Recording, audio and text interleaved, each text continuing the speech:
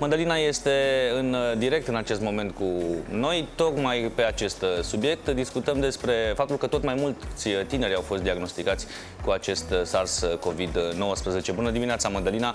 Ce detalii ai?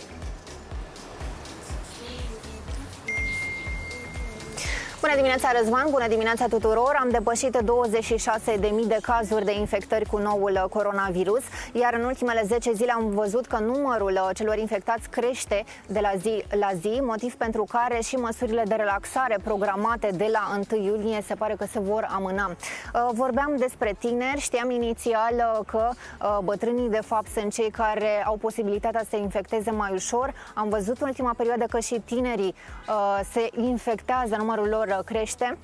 Profesorul Florin Mihălțan este alături de mine. Bună dimineața! Bună dimineața! Cred că infectarea tinerilor, care nu au comorbidități, nu au alte afecțiuni, este datorată nerespectării acestui regim de distanțare uh, fizică și nepurtarea uh, și nerespectarea măsurilor elementare de igienă unde masca, noi știm că, de exemplu, o mască chirurgicală filtrează cam 70% din uh, zona, în zona de expunere a particulelor.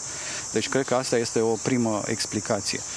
Uh, apoi uh, este o relaxare care este extrem de periculoasă în general. Noi resimțim asta prin internări care sunt de la o zi la alta din ce în ce mai multe Uh, chiar dacă se partajează în pacienți în forme ușoare, forme moderate, nu forme severe, ele există, sunt o prezență, fac parte din viața noastră. Și uh, cred că în momentul de față românul acționează exact uh, pe principiul pe care acționează un fumător. Fumez, dar nu, nu mi se va întâmpla. Ori această libertate de a fi îmbolnăvit Uh, este deja o prezență nu numai în țara noastră, este o prezență în foarte multe țări. Uh, dacă privim uh, raportul de ieri pe 21 de țări europene, există un surplus de cazuri internate care este o realitate și care dovedește că aceste eșalonări a măsurilor de relaxare are consecințele sale negative. S-a schimbat durata de spitalizare pentru cei asimptomatici? Da, s-a schimbat. Uh, pot fi uh, externați mult mai repede cu un test care se face de obicei în a 8 zi. Uh, sigur că e o discuție mare în jurul asimptomaticilor dacă pot sau nu să îmbolnăvească, de ce trebuie să stea în spital. Există exemple multiple în care asimptomaticul în perioada respectivă de prim moment al bolii este contaminant pentru cei din jur. Și exemplele astea le găsim nu numai în România, le găsim în literatură în multe țări, unde au fost evidențe clare ale momentelor de uh, contaminare față de discuțiile de lunile trecute, în care bă, spuneam că bă, cei mai afectați sunt uh, persoanele cele mai afectate, sunt persoanele în vârstă care au comorbidități. Uh, de această dată, iată că avem și cazuri uh, de tineri. Chiar am avut un caz recent, o tânără de 39 de ani care se pare că nu avea alte boli și iată că și-a pierdut viața. Sigur, se poate discuta uh, o expunere în sistemul care noi îl cunoșteam înainte ca acea furtună de citochine, adică o hiperreacție a organismului la un tânăr care nu are alte comorbidități.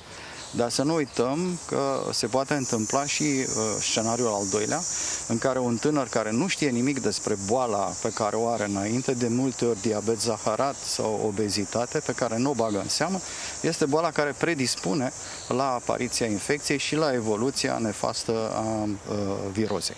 În toate situațiile, nerespectarea măsurilor de siguranță este de fapt uh, problema uh, și am văzut imagini și de la uh, munte și de la mare cu oameni care nu au respectat în principal distanțarea socială. Da, este, după mine, o diminuare de fapt a respectului față de acest personal sanitar care în momentul de față, în aceste combinezoane, suportă aceste temperaturi uh, caniculare uh, în condiții de stres, stresul repetitiv de patru luni, care întotdeauna va aduce o uzură, o, uh, dacă vreți, o expunere prelungită a acestui personal sanitar. Deci dacă trecem peste faza aceea de eroism atât declamată până acum, Uh, minimum necesar pe care îl cere uh, personalul sanitar de la populație este de a fi respectat în mod indirect prin aceste minime măsuri care există, dar absolut necesare, de purtarea măștii, de spălat pe mâini și de distanțare fizică.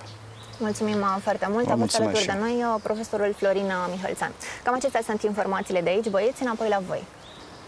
Mulțumim, uh, Mădălina. Îmi pare că rămânem uh, tot mai singuri și izolați în uh, povestea asta. Mai suntem câteva televiziuni uh, uh, care încercăm să le explicăm oamenilor că cifrele au luat-o razna și că, de fapt, uh, pericolul e acum, nu când stăteam fiecare în casa lui. Uh-huh. Vă aduceți aminte că mergeam să ne luăm uh, uh, sos boloniez, bineînțeles, uh, uh, mergeam uh, baricadați, uh, te dădeai jos uh, în parcarea supermarketului, ți se părea că... După care, în loc să fie invers, noi ne-am uh, relaxat. Păi atunci nu era nimeni pe stradă, nu te vedeai cu nimeni, nu mergeai la masă nicăieri, uh, îți vizitai chiar părinții uh, extrem de rar sau deloc, după caz, care cine a putut.